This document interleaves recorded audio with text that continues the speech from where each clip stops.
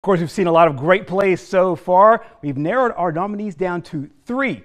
You will get to vote for the play of the week. Here are the nominees. And now, play of the week, brought to you by Cart Doctor.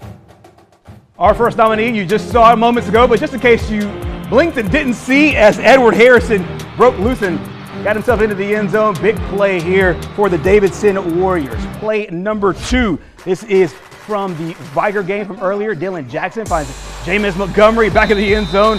Nice touchdown grab as Vigor wins it big today. Great catch there by Montgomery. Nominee number three, this comes from the Daphne game. You saw it moments ago. It's the pick six by Caden Williams. Open up a huge scoring effort for the Trojans who are playoff bound. Those three plays will be up on our website, WKRG.com. You can cast your vote right after the show. That is when the poll goes up. We will announce the winner on Monday night at 6.30. Coming up next here on the fifth quarter, we'll have more highlights and the playoff picture for more classifications. Stay with us.